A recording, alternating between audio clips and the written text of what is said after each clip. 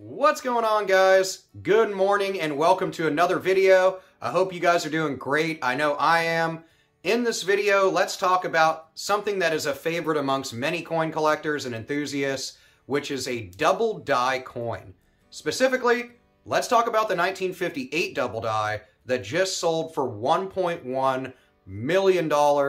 If you ever find one of these in your pocket change, you could be sitting on a fat stack of money uh, even if you find one that's a lesser double die than this one, you could be sitting on hundreds or even thousands of dollars. So let's check this coin out.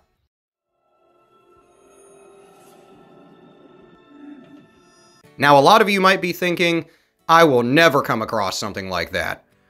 That's not so true with this one. This is a 1958 double die Lincoln cent, and it smashed all records for the sale of any double die sold at auction by exceeding a crazy amount of $1.1 million back in January, so only a couple months ago.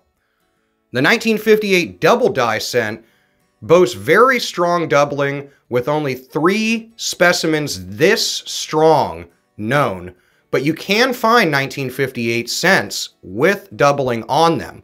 Now, if you're lucky enough to find one that has this intensive doubling, which is easily recognizable to the naked eye, you could be sitting on thousands of dollars. This beautiful coin is comparable to the 1955 and 1972 double die cents that I've covered in other videos.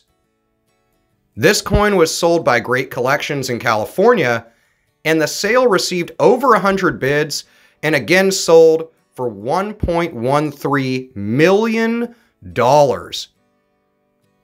This coin is known as the King of Double Dies.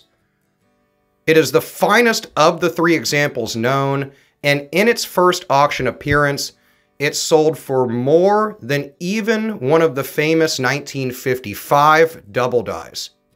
This variety was first reported in the early 80s and is mainly doubled in the inscription of In God We Trust and the word liberty. This is also noted that it is from the Red Copper collection of Lincoln cents, which is an extremely famous collection. Lesser doubling can be seen on Lincoln's ear, his hair, his eyelid, his bow tie, and the folds of the vest.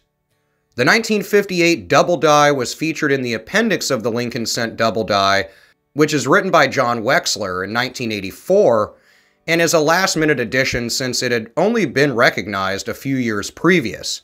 Since that feature, the 1958 double die is a coin that many collectors want and many people search out for in their pocket change. Like I said, you may not come across an example of this 1958 Lincoln cent with such extreme doubling on it, but you can come across ones that have doubling that are still worth hundreds of dollars.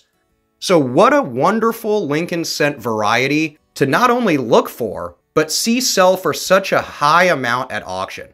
Let me know what you think about this 1958 double die cent that smashed records and sold for $1.1 million. Let me know what you think about that in the comments below. And more importantly, let me know what you've come across in your coin and banknote searches in the comments. I'll see you there, and I'll see you in the next video.